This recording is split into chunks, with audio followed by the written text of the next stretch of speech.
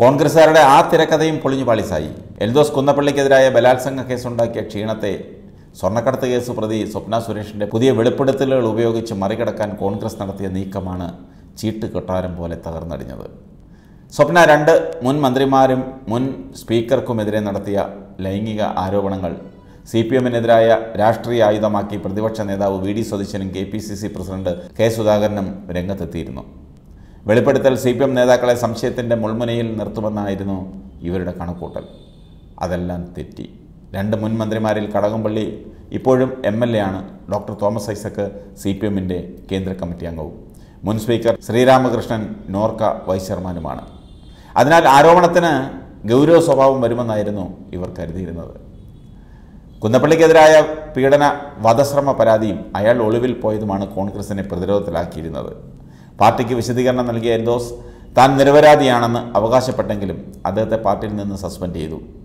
Case രാഷ്ട്രീയ പ്രേരിതമായതിനാൽ ഒളിവിൽ പോയതെന്നാണ് കുന്നപ്പള്ളിയുടെ വിശദീകരണവും. മുൻകൂർ ജാമ്യം ലഭിക്കുകയും ചെയ്തതിനാൽ നടപടിയെടുത്ത് സി പി എമ്മിന് ആയുധം നൽകണോ എന്ന് നേതാക്കളിൽ ചിലർ സംശയം ഉന്നയിച്ചെങ്കിലും സ്ത്രീകൾക്ക് മാന്യത നൽകുന്ന പാർട്ടി എന്ന പ്രതിച്ഛായ ഉയർത്താൻ നടപടിയിലൂടെ സാധിക്കുമെന്ന വിലയിരുത്തലാണ് സസ്പെൻഡ് ചെയ്തത്. സി പി എമ്മിനെതിരായ കടന്നാക്രമണത്തിന് കൂടുതൽ വിശ്വാസ്യത കൈവരാൻ ഇത് ഉപകരിക്കുമെന്നാണ് കരുതിയത്. പക്ഷേ അത് നനഞ്ഞ പടക്കമായി പോയി സ്വപ്നയുടെ തിരക്കഥയ്ക്കും പ്രതീക്ഷിച്ച പിന്തുണ കിട്ടിയില്ല.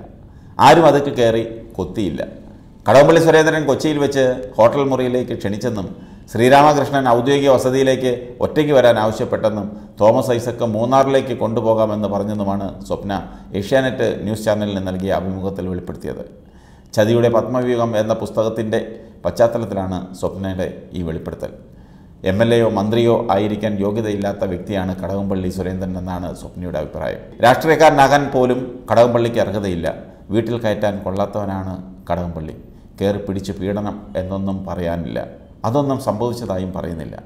ഫോണിൽ കൂടി മോശമായി സംസാരിക്കുകയും ലൈംഗിക ചുവയോടെ പെരുമാറുകയും ചെയ്തിട്ടുണ്ട്.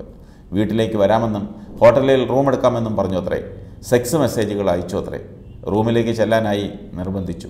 ഇക്കാര്യങ്ങൾ ശിവശങ്കറിന് അറിയാമായിരുന്നു. മന്ത്രിയല്ലേ? ആരോടും പറയേണ്ടെന്നാണ് ശിവശങ്കർ പറഞ്ഞത്. ഇതിനെല്ലാം തെളിവുണ്ട്. ഇത് ഇ ഡിക്ക് കൈമാറിയിട്ടുണ്ട്. ശ്രീരാമകൃഷ്ണൻ കോളേജ് വിദ്യാർത്ഥിയെ പോലെയാണ് പെരുമാറിയിട്ടുള്ളത്. ഔദ്യോഗിക വസതിയിലെ മദ്യപാന സദസ്സിനിടെ മോശമായി പെരുമാറി. ഒറ്റയ്ക്ക് ഔദ്യോഗിക വസതിയിലെത്താൻ ആവശ്യപ്പെട്ടിട്ടുണ്ട്. തോമസ് ഐസക്കും മോശമായി സംസാരിച്ചു. മറ്റുള്ളവരെ പോലെ ഡയറക്റ്റായി പറഞ്ഞിരുന്നില്ല. മൂന്നാറിലേക്ക് ക്ഷണിച്ചു. മൂന്നാർ സുന്ദരമായ സ്ഥലമാണെന്ന് പറഞ്ഞു. സൂചനകൾ തന്നാണ് തോമസ് ഐസക് പെരുമാറിയത്. ഇതൊക്കെയാണ് സ്വപ്നയുടെ വെളിപ്പെടുത്തൽ. ഇതൊക്കെ കേട്ടപ്പോൾ എനിക്കൊരു സംശയം. ഇത്രയൊക്കെ സംഭവിച്ചിട്ടും എന്തേ? ഇത്രയും നാൾ പുറത്തു പറഞ്ഞില്ല.